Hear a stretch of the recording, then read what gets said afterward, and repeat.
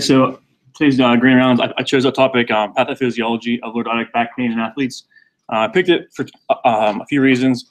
Um, one, I have some of these, uh, or one of these um, pathologies, um, and uh, two, I wanted to try to relate this to um, some sports topics um, since I haven't had you know, a whole lot of you know, actual interventional experience. So I figured this would be a good way to sort of describe these conditions.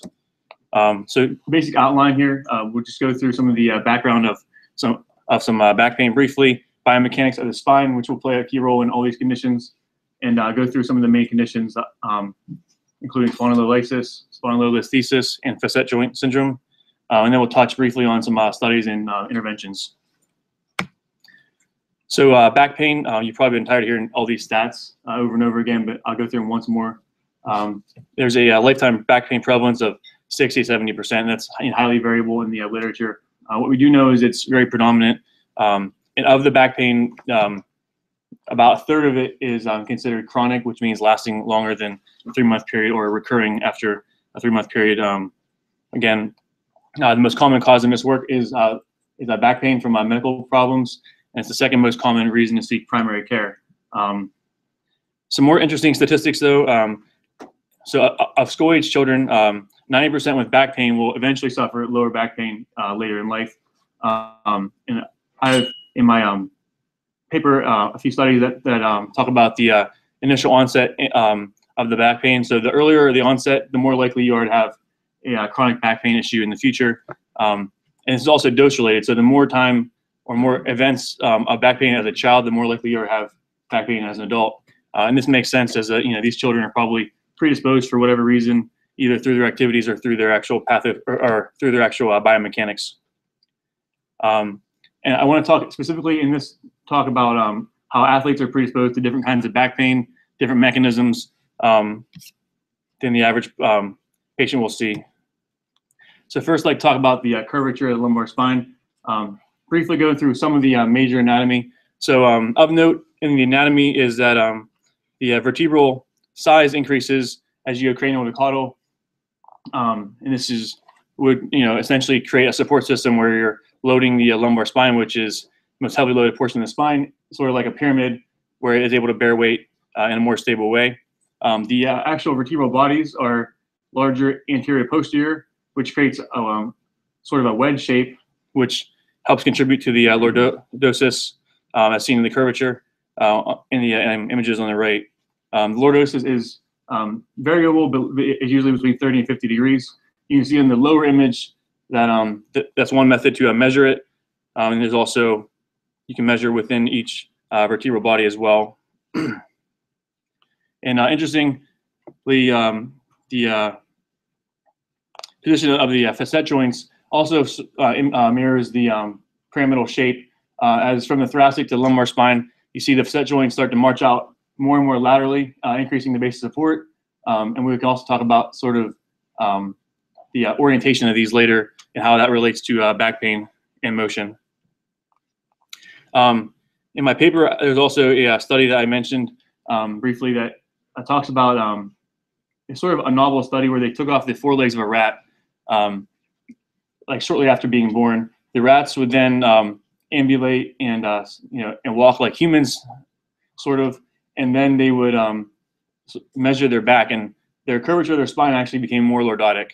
Um, and this coincides with humans, where you know, you know, at birth our spines aren't really in this lordotic position, but it's through um, ambulation and weight bearing and bipedal stance that causes this uh, lumbar lordosis shortly after birth.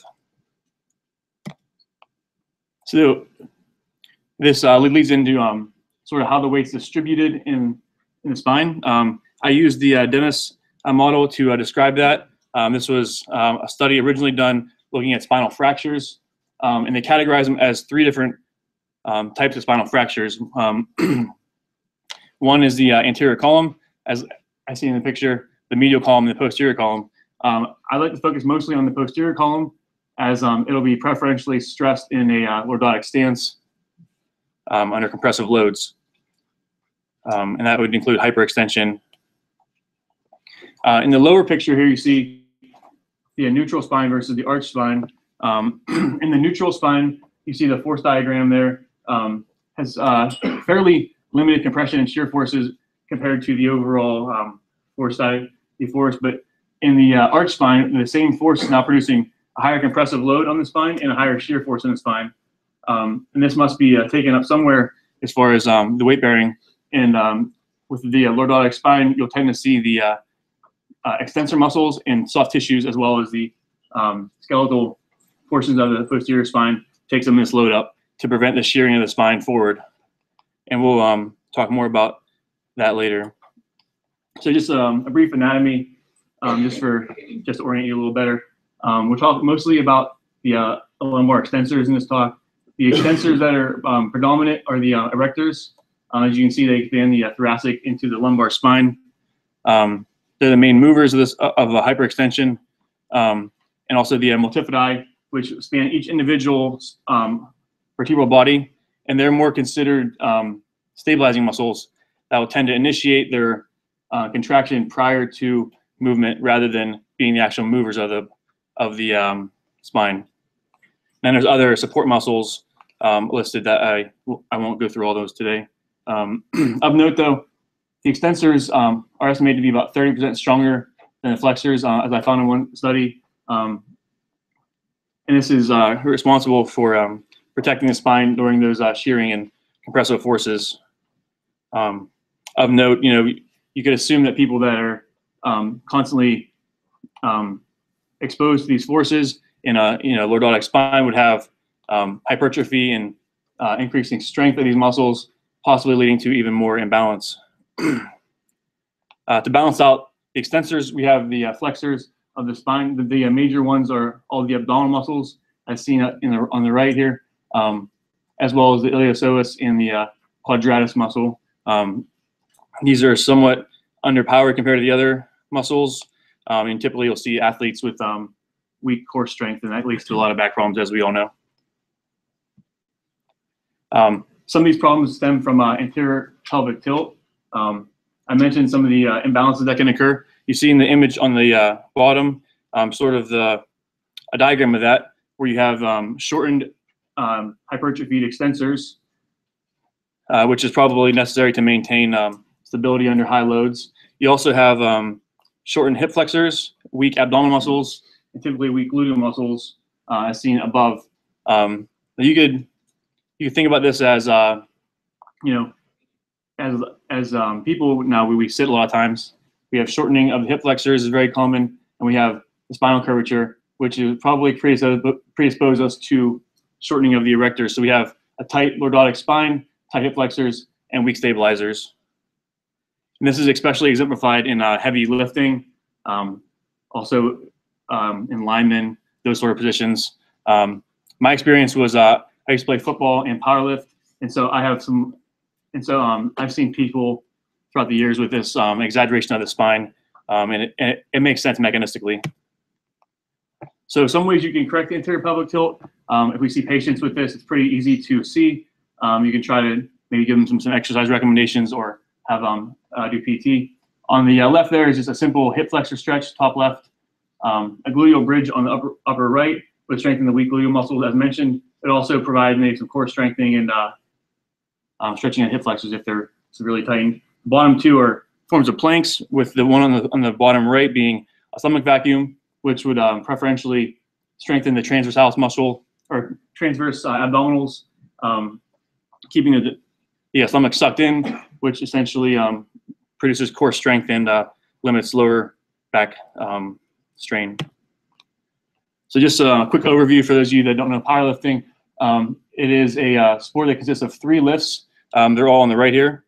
Um, first is usually the squat, followed by the bench and the deadlift. These are some diagrams that just kind of go through some of the forces associated with these and, and some of the form.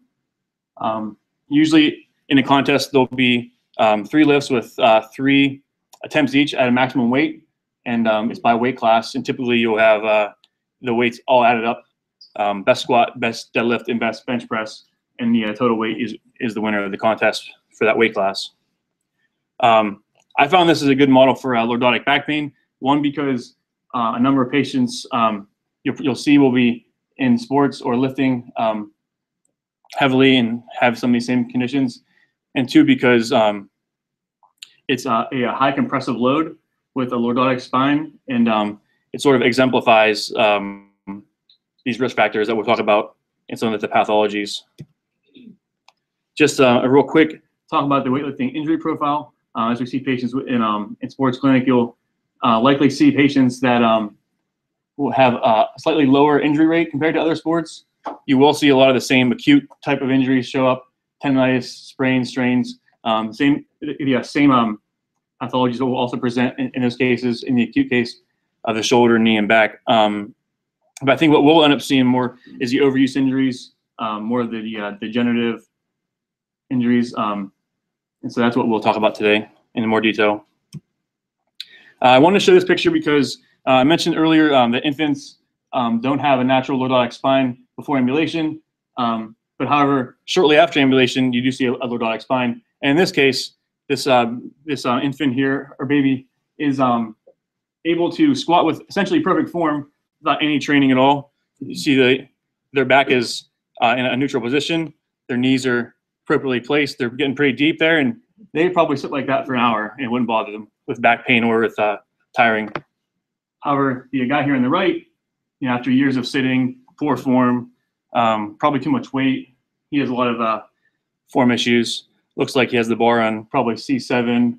His lower back is in a flexion um, posture, and so he's set himself up for a lot of uh, back injuries. And this is just um, a brief slide to show what the form of the back probably should like look like in these lifts. So you're seeing the, the, the deadlift uh, top left, um, a very neutral spine. Um, same thing with the squat here. Um, although they have different stances, the spine is still neutral, um, resulting in different you know compressive and shear forces. On the upper right, though, you'll see even in exercise like the bench press, because of the uh, curvature of the spine, you can have a lordosis. Some people go to the extreme; they'll arch their back. I mean, it, it, it just looks painful. Um, but they'll essentially do that to shorten their their uh, arms and um, increase the you know leg drive to help their lift. But uh, you can imagine seeing someone that even exclusively benches have back pain um, just from doing those sort of maneuvers. Some of the uh, other risk factors I want to talk about.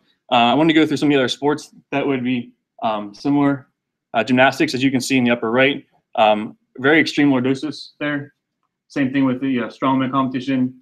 Um, NFL linemen, linebackers, those types, um, due to um, their position of uh, high compressive forces, and they are typically tackling or um, rushing or blocking in a uh, lordotic stance. And this would be especially true with um, any prior back injury, fatigue would uh, would make that worse. Um, I mentioned some of the other issues earlier. So now I want to talk about some of the pathologies that um, that you would think of as stemming from this. One of the most um, common you'll you'll see and hear about is spondylolysis, um, especially in this population. It's um, it's fairly common as a presenting symptom or cause. Um, it's a, a, defect in the pars articularis. Um, it can be acute. You can have a stress a, a fracture from um, from uh, some sort of acute injury, uh, but typically it's chronic. You'll see a stress fracture as seen on the right. Typically, it's also unilateral um, most likely at L5, followed by 4 and L3.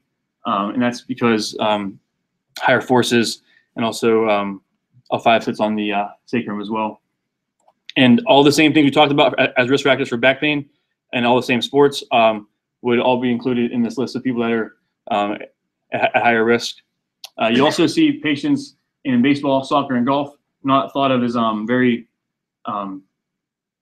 high axial loading sports However, um, given the orientation of the lumbar spine and the facet joints, as we mentioned, uh, and we'll talk more about later, the um, rotational aspect of baseball and soccer um, actually leads to higher number of patients with this condition as well, or at least presenting pain from this condition.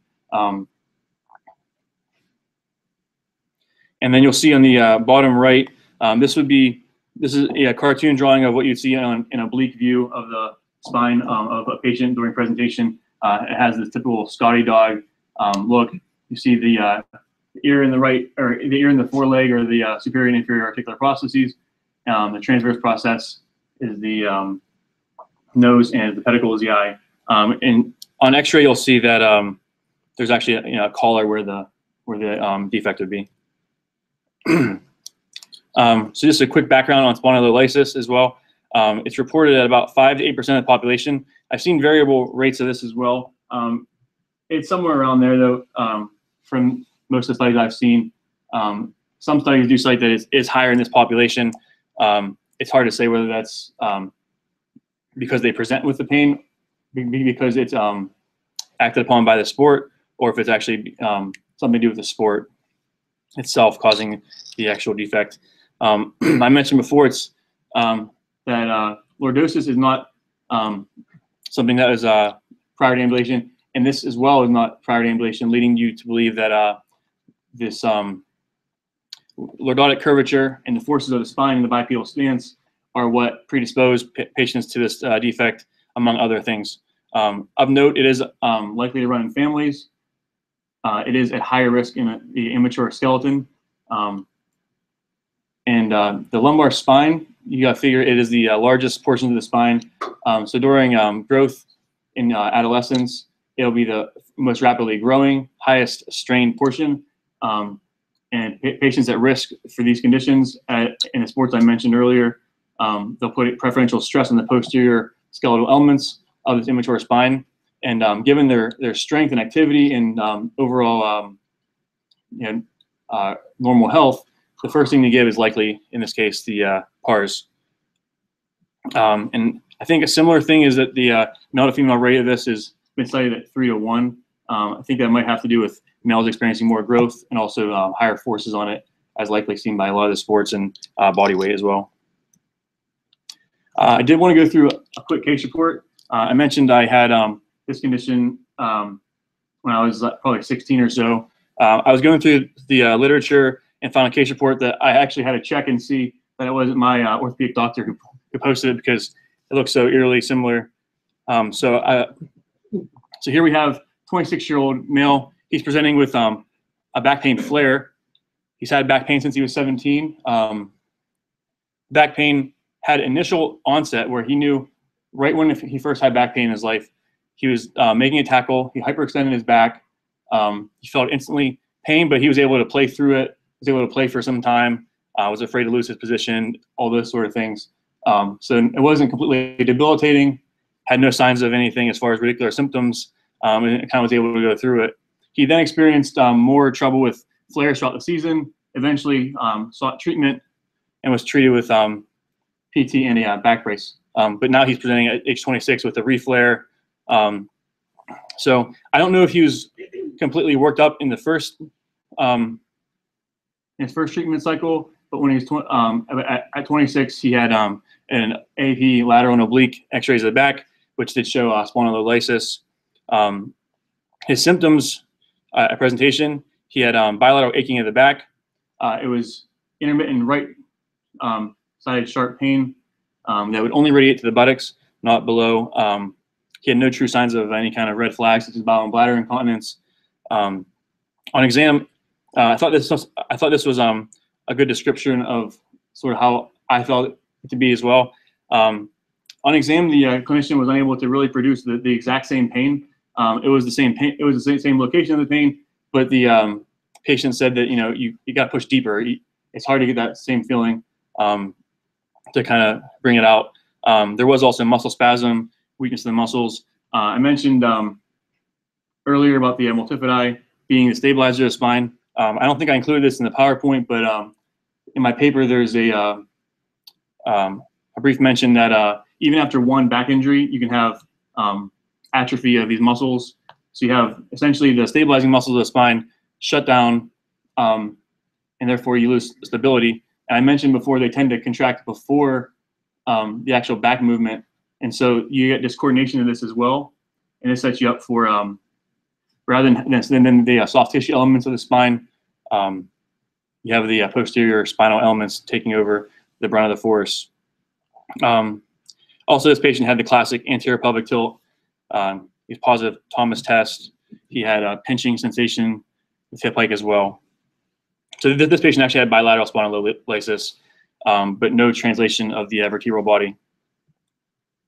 Um, so just a brief talk about the uh, diagnosis. Um, you really only need um, x-rays to diagnose the condition. You can see in the bottom right here, um, you can see a defect in the lateral as well as the oblique view. The oblique I mentioned is where you see the classic Scotty dog, and it's actually pretty well visualized here, where the defect is the collar in this case. Um, some of the other imaging really comes into play whenever you think about acute versus chronic and um, healing versus uh, non-union in these patients. Um, the top left, you'll see a, a, bone scan. The lesion of the lumbar spine lit up is, is obviously the area of concern, um, showing activity there, uh, as well as the CT on the upper right shows bilateral defects uh, of the pars, and the, the, center shows the same um, on one side. Um, and this is because while this is a, a bony defect, um, you don't always have bony resolution. So the x-ray, even if someone is pain-free, resolved, did all the treatment, and is able to go back to play, you may never see full resolution of that, um, that defect on x-ray because you can have fibrous tissue, cartilage, those sort of things growing in um, to varying degrees of strength, um, which at times could be lax and at times it could be um, functional, similar to skeletal elements. Um, so this is something that you could would use to say, you know, this patient's at further risk, or this is why the pain's still there. Um, we talked a little bit about the conservative treatment already. Um, typically, you know, these patients will be under relative rest. Uh, a lot of times, um, they'll also wear a back brace one to three months. Um, I can tell you, it's not too enjoyable to wear one of those for you know when you're in high school. Um, I'm not sure. You know, basically, it's um, keeping you from overextending your back, giving it a chance to heal. Um, however, when you do that, you're obviously going to have some flexibility and uh, musculoskeletal imbalances afterwards. So at that point, you want to have a lot of um, physical therapy. Uh, they'll be targeting things like we talked about anterior pelvic tilt. tilt. Um, and again, if you want to look and see, you can use a CT to, to maybe show signs of resolution. Um, here's just a brief slide to show a brace and also um, some other exercises that you may do. They're all they're all pretty interrelated. They're all working on core strength, lower back um, endurance. Um, I mentioned the, multif the uh, multifidi before. They um, are a uh, major stabilizing element of the spine, and when those are weakened, um, you tend to have more back pain. And so that's why a lot of the uh, rehab therapies will be more on endurance. and you might think that these patients, you know, if they're doing heavy weightlifting or they're into uh, sports, you know, why are we working on endurance when they're doing one rep maxes? Um, I mentioned that these muscles are will contract beforehand, and it's usually when the endurance gives out that you'll have the pain. So even these uh, high actually loading short burst type sports like you know football and powerlifting, um, endurance is still the major uh, stabilizing force from the multifidi. um, I would just touch very briefly on the surgical treatments. Um, this is a whole topic in, its, in of itself. Um, typically, it is seen to be uh, on par with conservative treatment. Um, one literature review um, showed that 80% were actually returned to play uh, in both cases. However, yeah, about five month um, span in the conservative treatment versus seven to 12 months for the surgical treatment. Um, and you can understand that uh, in patients that have a similar chance to uh, resolve, it would be it would make sense to try all conservative measures first. Um, surgery is typically done in most cases for this condition if it's unstable defect, um, and that would be if it's bilateral or if there's signs of spondylolisthesis. Um, so spondylolisthesis is the uh, translation of the of one vertebral in body in respect to the other. Um, in this case, you have L4 over L5 and, uh. Um, now, these conditions are very highly interrelated although they're not exclusively interrelated. Um, but 50 to 8%, uh, as cited by one study, showed that um, they're concurrently diagnosed. Um, in bilateral defects, more likely to progress uh, as you have instability um, on both uh, neural arches, and that allows the spine to have more um, hypermobility. The causes of this condition are typically um, isthmic, which is what we, are talking about today mostly, and also degenerative is, is the next most common, and that could be from um, you know, essentially uh, facet arthropathy. Um, you also have all the other trouble. Um, the other more common one is congenital, um, which we may talk a little bit about later. Um, as far as the classification, um, pretty simple classification based purely on the slippage. Um, normal spine seen upper left, uh, less than 25% um, is not usually too big of a concern. Um, patients can typically be treated conservatively there. Uh, I found in the literature that grade two slippage is, um, I think this is kind of where your your judgment comes in. In grade two, I've seen some studies cite that uh, you know they recommend avoiding sports with high contact, whereas others, you know, if you're having a stable defect, maybe you are able to do that. Um, slippage grade three and four, very severe. You can see how you get very easily at this stage have um, central canal stenosis, radicular symptoms, and um, a lot of mechanical symptoms actually. Um, to, to assess stability though, you would look at the uh, flexion and extension x-ray. Um, a large movement between flexion and extension of the vertebral body would indicate an unstable defect and maybe make you more likely to have a patient um, refrain from these activities.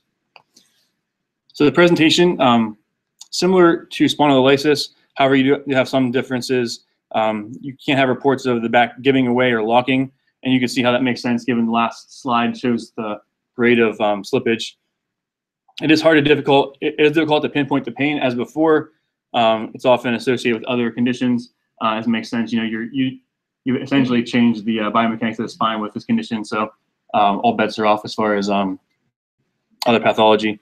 Um, on the upper right here, you see what they would call as a midline sill sign. So you see what is a little dimpling of the actual skin, um, followed by, and also a crease of the skin, which would show that there's possibly a step off there of the vertebrae. Then you can palpate it, um, and then you can even have the patient um, flex and extend, similar to what you do in an X-ray.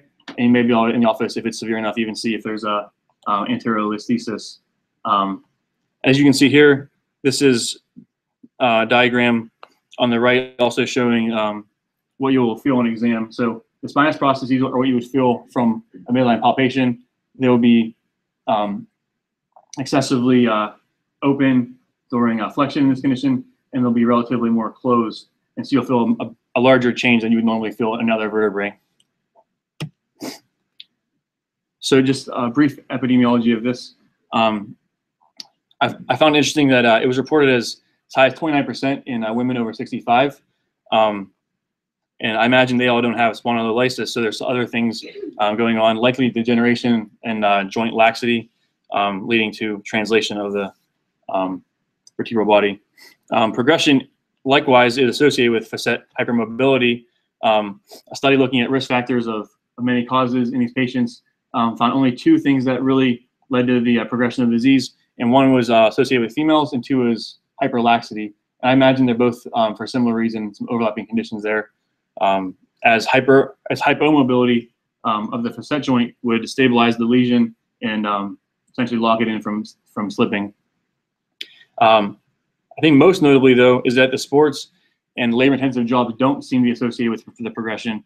Um, I think this goes back to with this condition, you're looking at the stability of the defect um, which usually comes into play with the flexibility of this of that portion of the spine. So even patients who are in sports with a lower grade spondylolisthesis, um, if it appears to be stable, they're unlikely to progress as someone that has an unstable def defect who is not in, in, in a sport or a labor intensive job. Um, so that may be something that you know, helps your clinical judgment when telling these patients recommendations. And um, even patients with stable lesions over years will tend to have pain. Um, I want to go over a few studies that sort of relate some of these conditions together. Um, so in this study, we have a uh, single center prospective study. Um, there's 10 patients with uh, degenerative disc disease, 10 with spondylolisthesis.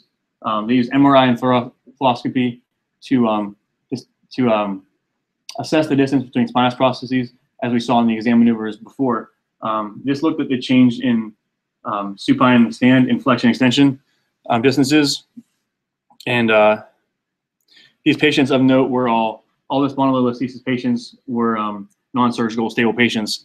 And so as a result, you look and see here that in de degenerative disc disease, um, there's an increase even further than spondylolisthesis of these uh, spinous distances. And that's likely due to um, yeah, shortening of the, the, spine at that segment, um, leading to a larger change in um, spinous processes whereas the spondylolisthesis has a smaller change compared to that, um, likely due to the fact that um, these patients that are stable have um, hypomobility. And that actually may be something that um, prevents the, the translation. A similar condition that's uh, related to these distances is a Baastrup's disease. It is a uh, narrowing of the interspinous distance. So you can see in the upper right, there's what they would call a kissing spine, um, where the actual um, spinous processes will touch, rub, um, and this is especially evident during um, excessive lordosis, um, which is one of the main risk factors. The other conditions we mentioned, uh, spondylolysis and spondylolisthesis, also lead to, to the same conditions, uh, increasing strain of posterior spinal elements, increase in lordosis, um, and changes in biomechanics, all thought to uh, contribute. Uh, also, distal degeneration as the height of the height between vertebral bodies is now shortened. Um, you see a lot of the same complications. So in the bottom right, you can um, actually diagnose this with just um, an X-ray. Uh, we see the spinous processes are touching, if not very near, even on um, normal posture. And the presentation pretty um, um, pretty generic. You have a midline back pain, reproducible, um, usually not radicular. But as with all these conditions, you can see radicular um, problems with um, severity. So in upper right image, we have, um, you can see from from the slide, there's a would be yeah, essentially a bursitis or a pseudobursitis um, secondary to um, uh, uh, inflammation. And on the bottom, you actually see bursitis between um, joints. So this is why in this in this condition, um, typically seen in um, the elderly, um, you, will get also either a CT or MRI um, because you're not looking to see a diagnosis here. You're looking to see are there any other conditions that need to be treated that are associated with it, such as um, edema, cyst formation, sclerosis, hypertrophy. you can have masses uh, as well. I think most importantly, you have you have central canal stenosis, and as you as noted, the other the uh, other conditions we talked about um, don't classically have this, but as you can see, all these in increasing severity can have radicular symptoms um, and may require surgery.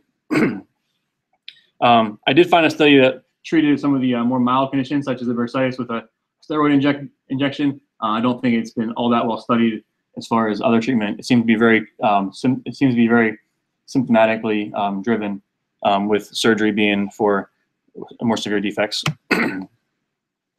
so um, earlier I touched on uh, the facet joint orientation.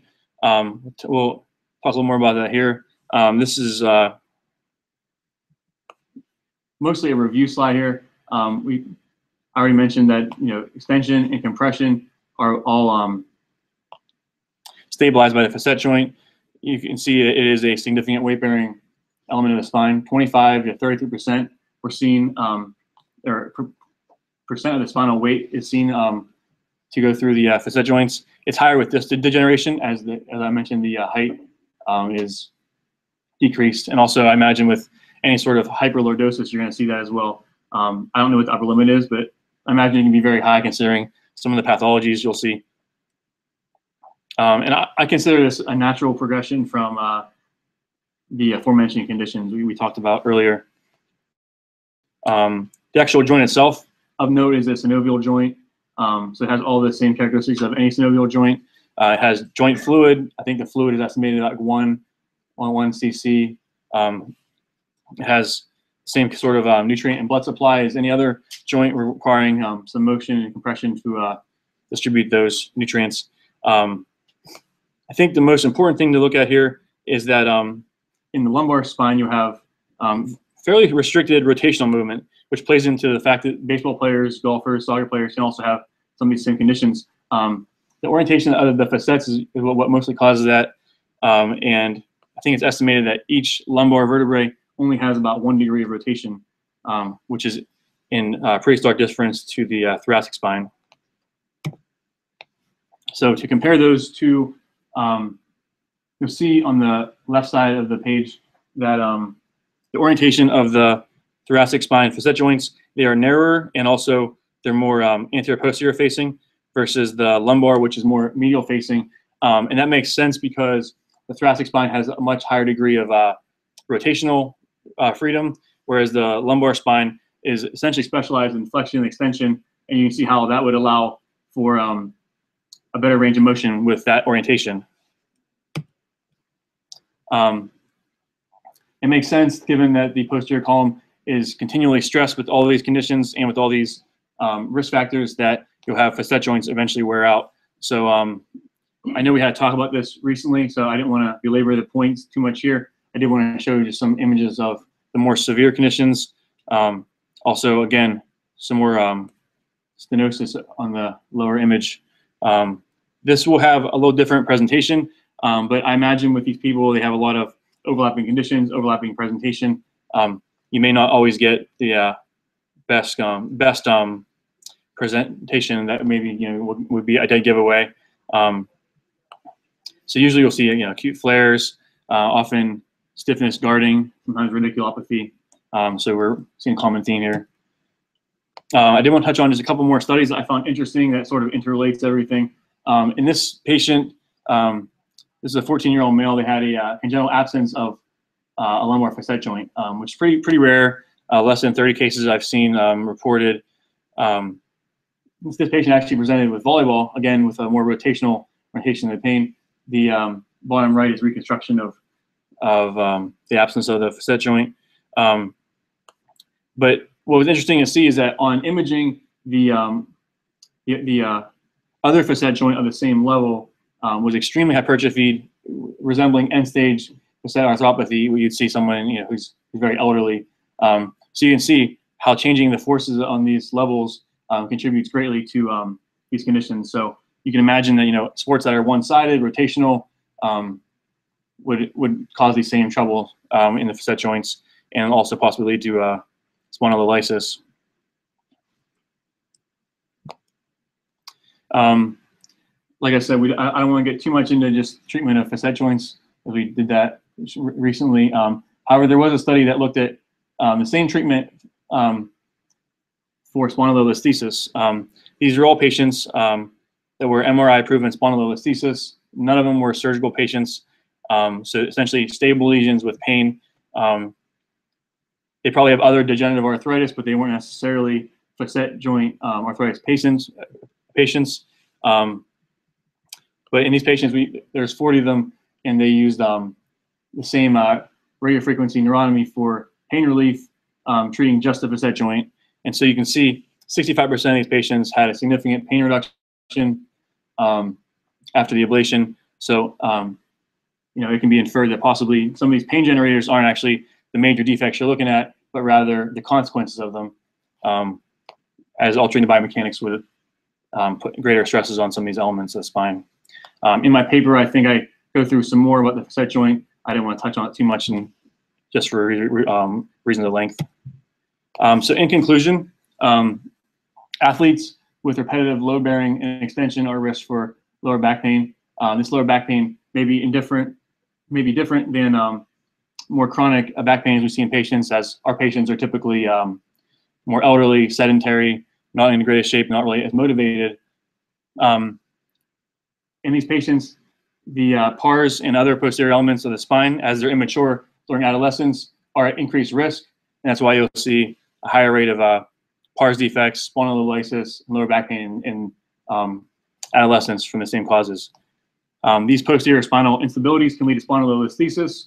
Um, the facet joints are the major stabilizers for the progression of spondylolysis and spondylolisthesis um, as they essentially stabilize the lesion, allowing it to heal versus allowing it to um, translate and progress to more degenerative conditions. Um, and uh, posterior lumbar, posterior lower back pain, um, as you can see, is a very uh, you know sort of murky condition here. Um, a lot of things are interrelated. Uh, I think the good thing is though is that you have um, similar pathogenesis, so you can have similar treatments. Um, all these patients could benefit from the same kind of physical therapy, same kind of strengthening, flexibility training, as mentioned in the anterior pelvic um, tilt slide. Um, this may help pain. And I think um, what probably needs to be studied a little more is the uh, interventional side of treating these patients. Um, we touched upon that a little bit, but um, I think you're going to see similar treatments for these patients um, as for other more common conditions that have been better studied. so with that, I'll leave it up to any questions. I do want to thank Dr. Weinig for being my advisor and uh, Dr. Phil over here for uh, bringing breakfast Uh, and I, wa- I want to show one last picture of what I consider the uh, immature spine. References you can see in my paper a little better. Any, any questions?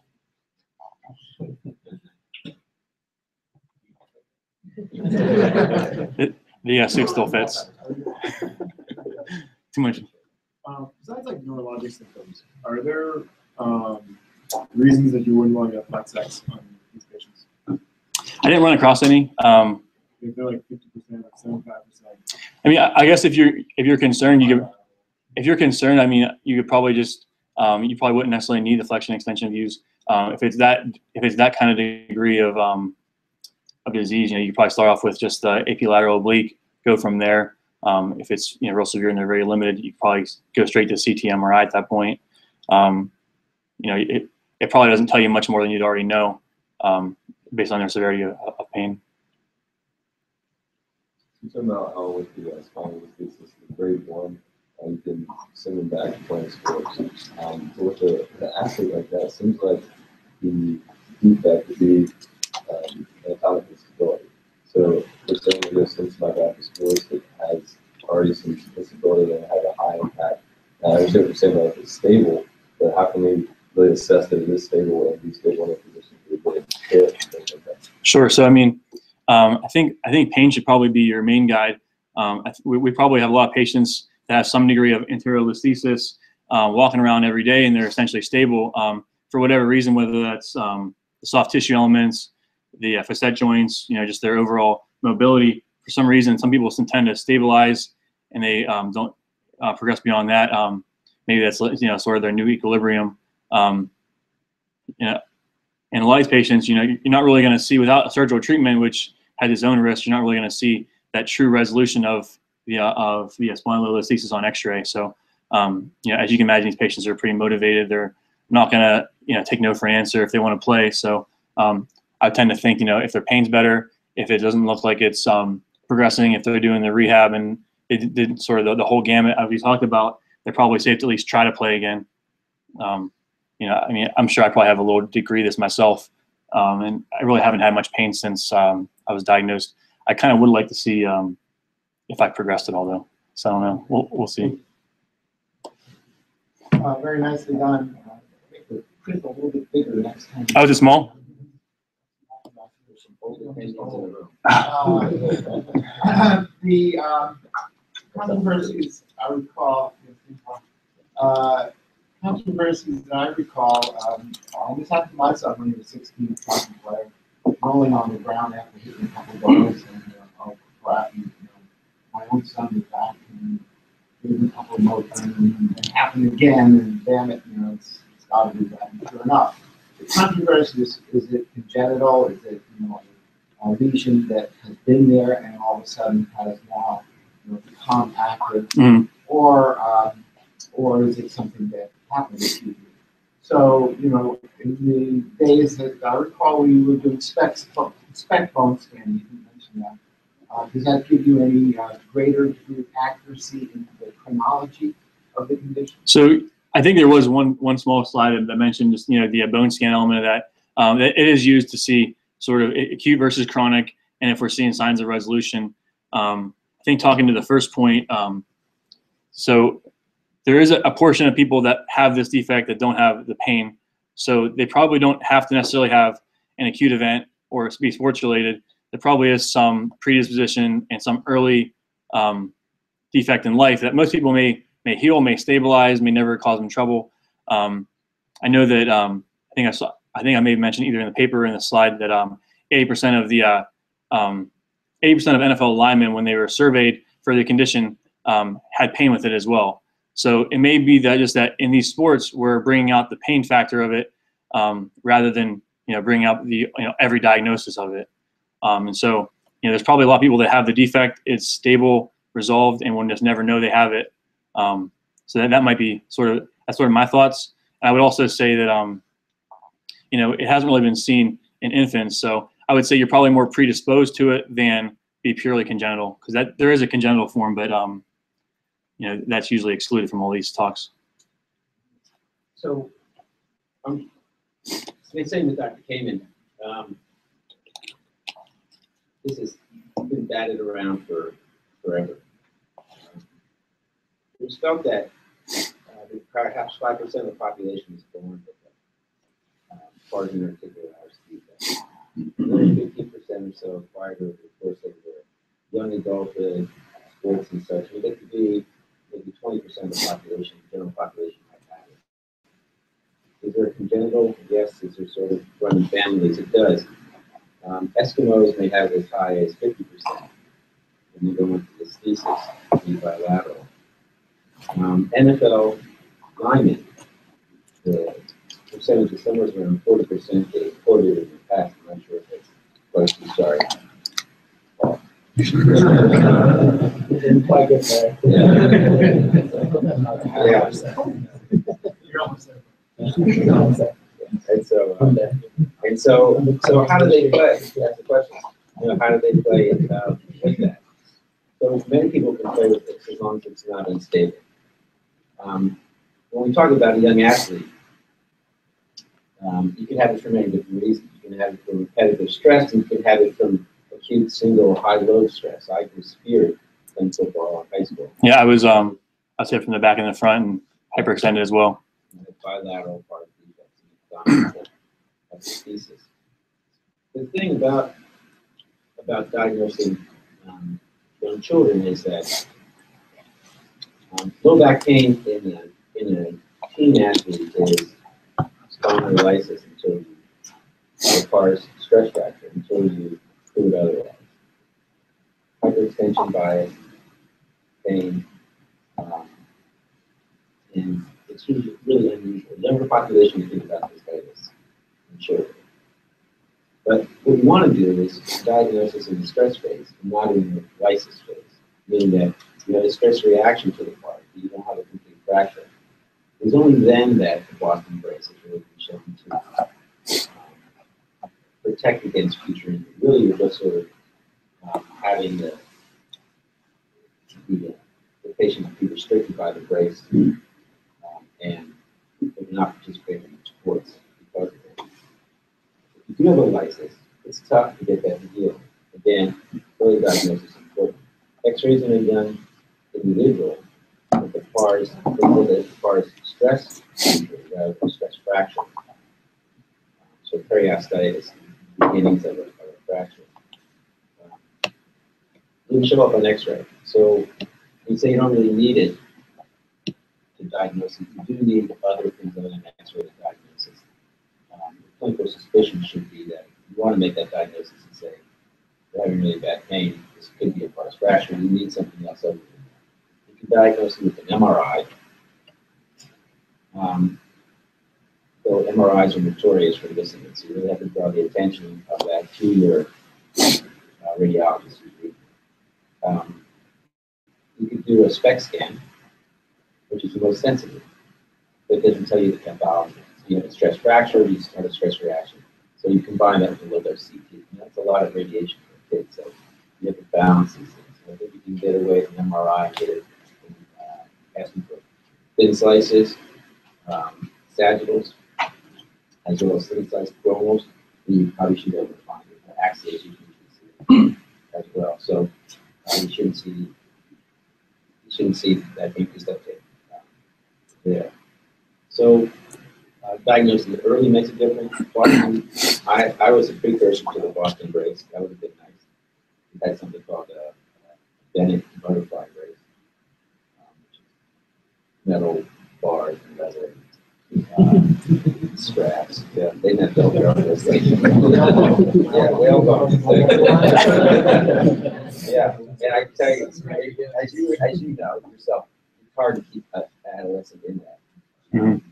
Number one, it's not really socially off, you know, acceptable, uh, and it's hard to sleep in the bricks. And so ideally, you wear it 23 hours a day. You get only off for showering. Get the brace while the workup's going on with the MRI. You do a suspected. it's- Um, Immobilizing, yeah, I think you go for, for a really loose here. You want something on. But then, then, butterfly, maybe, walking place. uh, Ones of that built are are a lot of money, you know, I can get away with something that's less confined, more comfortable. That's less. But a thin bug like this is, is generally, you know, computed on a model, you start moving fast. And then they, uh, develop a, it's a usually good model. And so, um, yes, it's- so, uh, we wrote the whole courses together. So, um, so your suspicion high and, we talk about, about secondary sort of treatments, more, more intervention type treatments. With, um, catching this early on, you know, the, the, the non-union rate of spondylolysis is quite high. You may get a fibrous connection, that may suffice. You really are looking to get an osseous future. The thing these days is, um, in the last five years, in certain institutions, they've been using the pedicle screw, which most of your commonwealth that goes through the pedicle, goes into the pubic body. And then they use something called a laminar hook. Laminar hooks are generally used in the past to, um, to help in uh, scoliosis surgery, to get a grip on the lamina in order to um, attach a bar above it. So they use laminar hooks um, and pedicle screw together, and they it down, and they pull that fusion, that crack together with this instrumentation. They rough up the surfaces and hopefully, you know, it causes a little pack of the bone in there, it will heal. They had an extraordinarily high fusion rate, and they used BMP, um, which uh, would um, cause a great inflammatory reaction. Unfortunately, sometimes it was so, so much so, uh, the body would react that bone morphogenic protein that uh, you could uh, get so much swelling because of the nerve damage and other. So they stopped. But that is still probably the future of that, just to be unilateral fusion as it is. Can you play? Yeah, well, you can play, you can go back to play. Many people play with this. Um, they have a license and they don't want to use it. I was able to go and play lacrosse. I couldn't go back to play football. Um, and we've gone back to weightlifting and doing other things. And so we're pretty, we're pretty good at that. One of the things is, though, you know, got a bad back and you have a segment that may not be stable. It really behooves you to sort of think about the future. We don't do that. I think strength training is good. If you got that in this strong strength, you can eliminate it. You should do the core strength. Uh, You should do within avoiding hyperextension. Um, you should keep yourself extremely flexible to the hip you can. Because anything that causes you to know the anterior the pelvis um, is going to cause you hyperextend your back. Right? So this, uh, this, you think about the sacrum and the spine moving in opposite directions of the hinge. And so um, you you want to make sure that you keep yourself flexible. As far as how this progresses, so we know we talked about anesthesis, we talked about this disease may be beneficial in the sense that it causes it that what you're saying? The facet, well, hypomobile facets would essentially help the, the stop the progression, but at the expense of the actual joint itself. Right, it would. And so, it, but this disease causes you to, uh, I mean, this disease that level, inevitably you get it. Um, causes you slip more. So you think about a tire um, on a rim. The tire, if, if it's blown up, taut, the walls of the tire are, are hard and they limit play. Same thing with the anterior posterior longitudinal ligament and this fibrosis. They basically drop down a. And those, those ligaments are looser, so there's more play at that center. So when you read the MRI, you put up that, that, that thing of the Baastrup's disease, MRI of disease. People don't look at that. It's so often overlooked. You see that there was a sort of a, a high signal between the spinous processes, a bright signal. Mhm. That tells you there's a shear going on. So you read that as, okay, maybe this has some segment instability, or maybe this is just, just, uh, you know, repeated compression. Read those things and think about how you're going to rehabilitation um, as well. When the clinical exam shows, what subtle findings you see in this, maybe there is a segment stability, we're not picking it up. Flexion and extension Gs are, are used to see if there's any translation of motion in unstable segment. Um, They're usually done lateral, laterals, and flexion and extension lumbar spine. Include. Uh, Problem is, they're not that accurate. If you, uh, if actually stand up and they're really thrown back, they can sort of resist some of that translation of the muscles. There's an article back in ninety-one, I remember because Dr. Doctor was sharing with me, that he was in Boston, I didn't see it. but I was not very- So that was, that was a. lot of trauma. There's a transaction for that. Yeah, there's a lot of trauma, uh, you know, my knowledge of that. So, Um, the, uh, it it showed that perhaps we would do better by lying the patient down on the table. and reflecting the tension. If you demonstrated stability, then you have a little bit more. Is it possible to do that at Temple? Is that the- You can't order anything. Not on the not on the menu. You can actually put a comment that says, please perform on, you know, lateral line. So, um, What's the cutoff you use for over five. Five is four, five, five.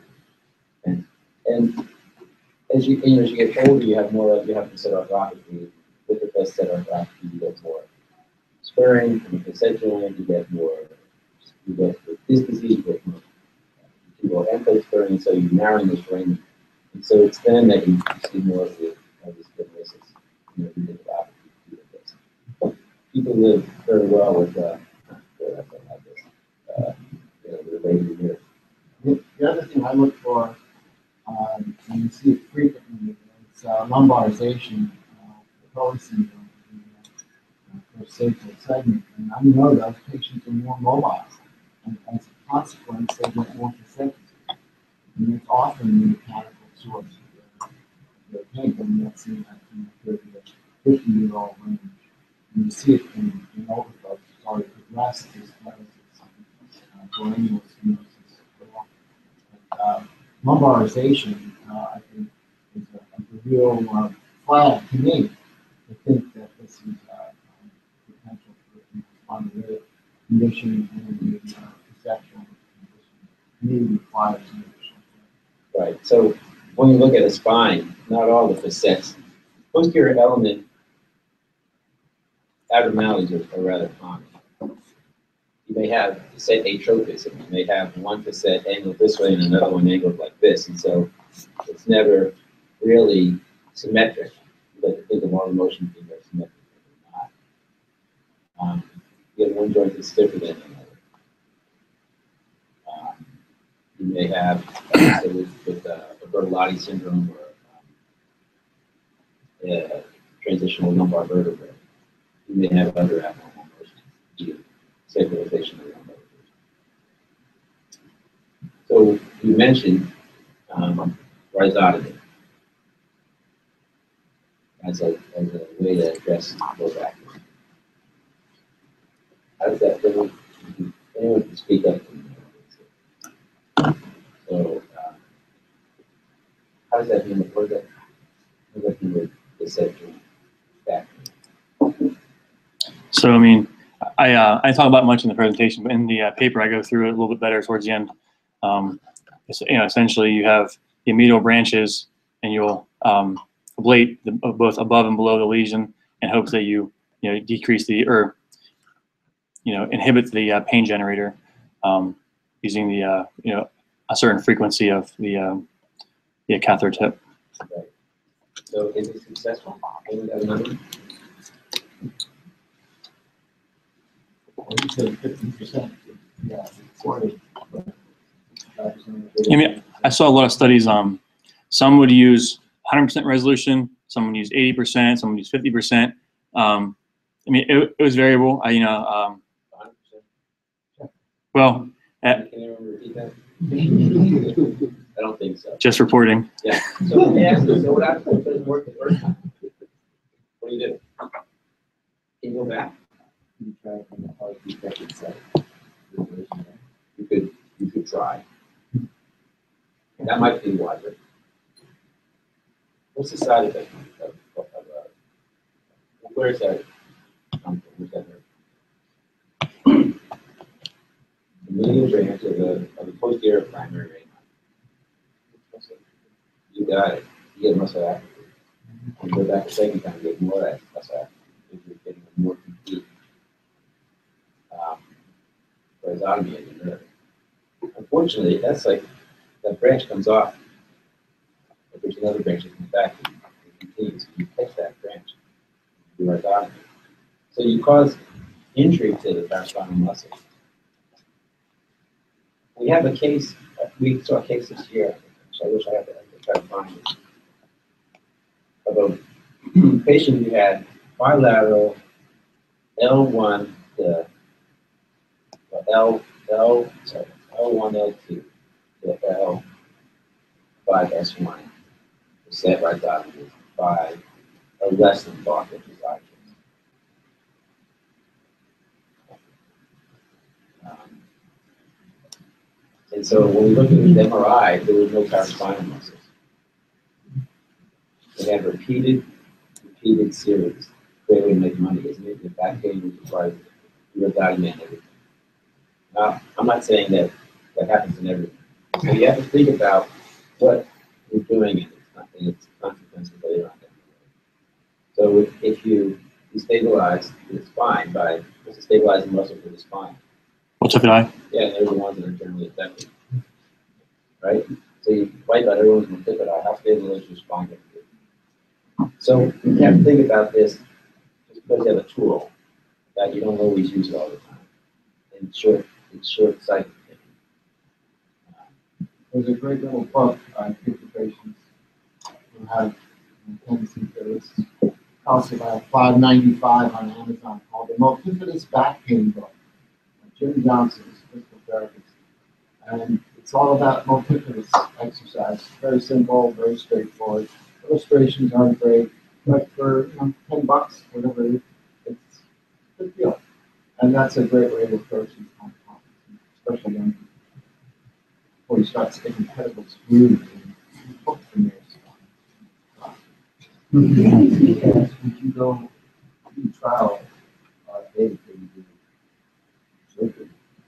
Yeah, I would, I'm not saying you don't do art thing, but I think you, you be mindful of it, you know? And, uh, and what you're doing. I mean, people, people don't think about going on, and going on, and going, yeah, one level, okay.